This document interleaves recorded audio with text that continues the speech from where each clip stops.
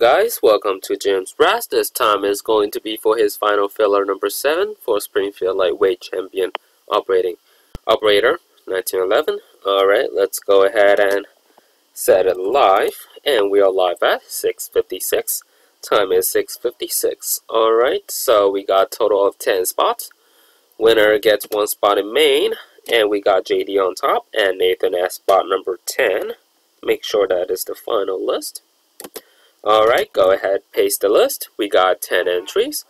Alright, so let's see where this is. Party for 6, so 2 dice, 4 or higher, and we got a total of 8, and we will start at 656.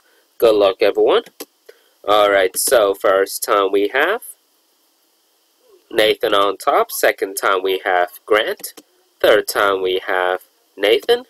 Fourth time JD fifth time JD, sixth time Nathan, and seventh time Philip. So far we've gone seven time, eight on the dice.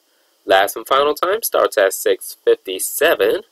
Let's go ahead and wish everyone a good luck. Alright, so the winner is Philip C, spot number five. Congratulations. Alright five time, uh, eight time, eight on the dice. Time is 657. Go ahead, put a done, and we are finished at five, uh, 657, 657. Thank you, everyone. All right, eight time, eight on the dice.